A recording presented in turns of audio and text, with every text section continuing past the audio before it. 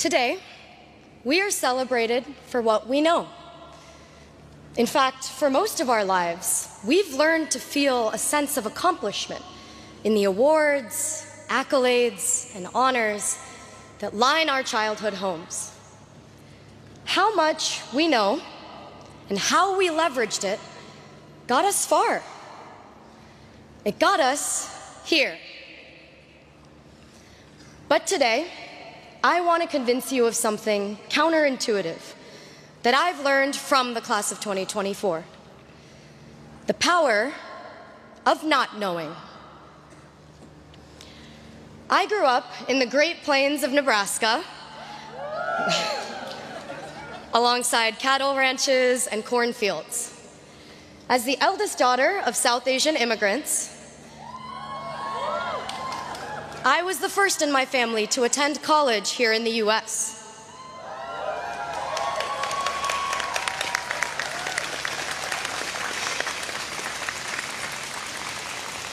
There was a lot I didn't know. When it came time, I asked my parents how to apply to colleges. And they too said, I don't know. The words, I don't know, used to make me feel powerless, like there was no answer, and therefore no way, as if I was admitting defeat. From Nebraska to Harvard, I found myself redefining this feeling of not knowing. I discovered a newfound power in how much I didn't know. I didn't know a field called the history of science even existed.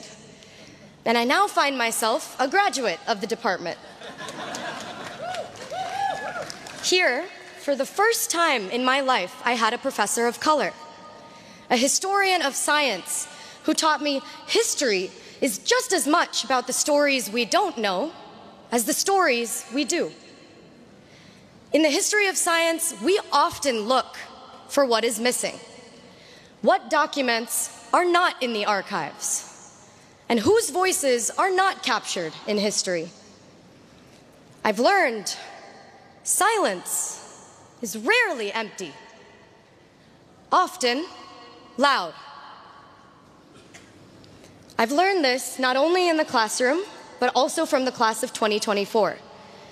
In reflecting on our collective moments at Harvard, I've realized it's the moments of uncertainty from which something greater than we could have ever imagined grows. And our class has experienced more than our fair share of the unknown.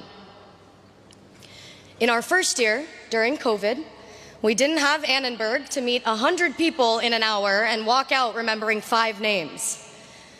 What did we do?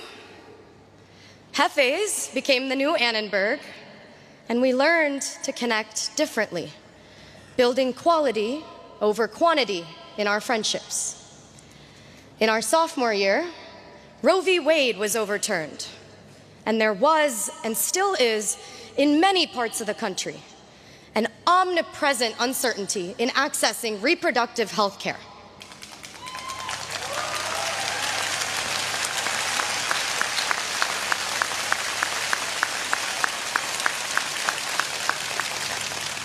In our junior year, Harvard faced the Supreme Court and the decision to reverse affirmative action.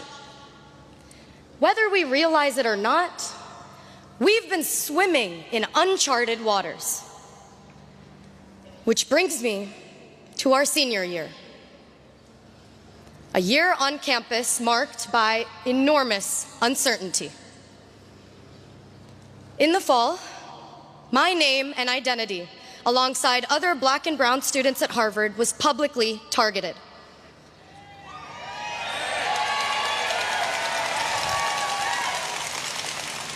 For many of us students of color, doxing left our jobs uncertain, our safety uncertain.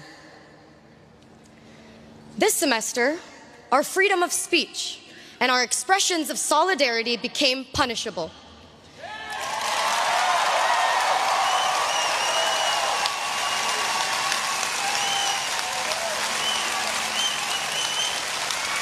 leaving our graduations, uncertain.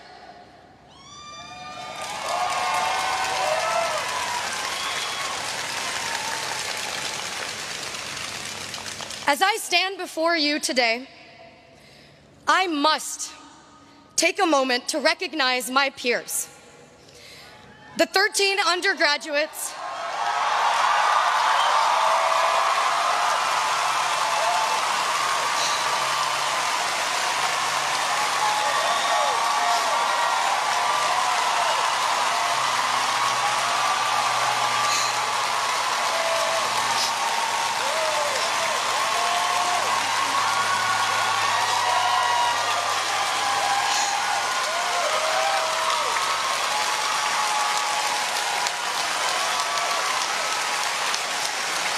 13, the 13 undergraduates in the class of 2024 who will not graduate today.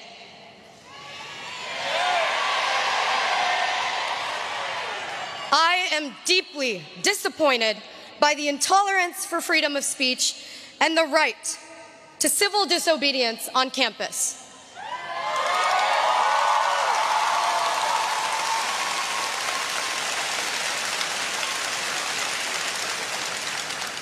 Over 1,500 students had petitioned. Nearly 500 student, staff and faculty had spoken up, all overwhelmingly against the unprecedented sanctions. As an American and as a Harvard graduate, for me, what is happening on campus